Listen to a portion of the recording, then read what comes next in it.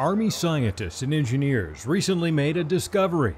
An aluminum nanomaterial of their design produces high amounts of energy when it comes in contact with water or any liquid containing water. During routine materials experimentation at the U.S. Army Research Laboratory at Aberdeen Proving Ground, Maryland, a team of researchers observed a bubbling reaction when adding water to a material they produced. We all, as a team, we were very excited, ecstatic that something good has come out. We knew that.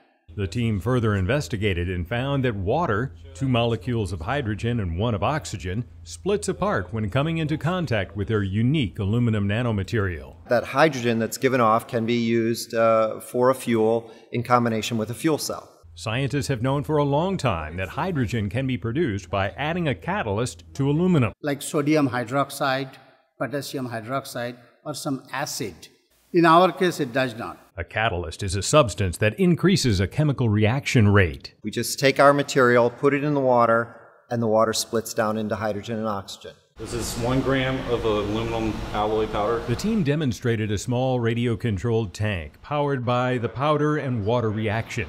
Moments after mixing the powder with a small amount of water, a bubbling reaction produced a great deal of hydrogen, which was then used to power the toy around the laboratory our powder in combination with the fuel cell is a very good closed loop.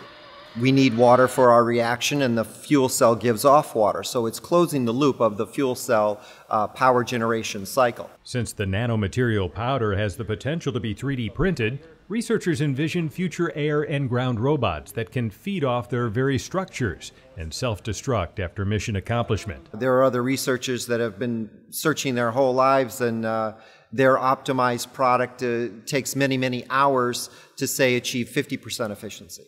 Ours does it to 100% efficiency in, in less than three minutes. The research team said the laboratory is all about giving soldiers the advantage. We all feel pretty good that this can contribute to a new kind of research, a new kind of way to generate power on demand at ease and at will. The next step is to document the discovery with scholarly papers and intellectual property protections and coordinate further applications with scientists and engineers across the laboratory.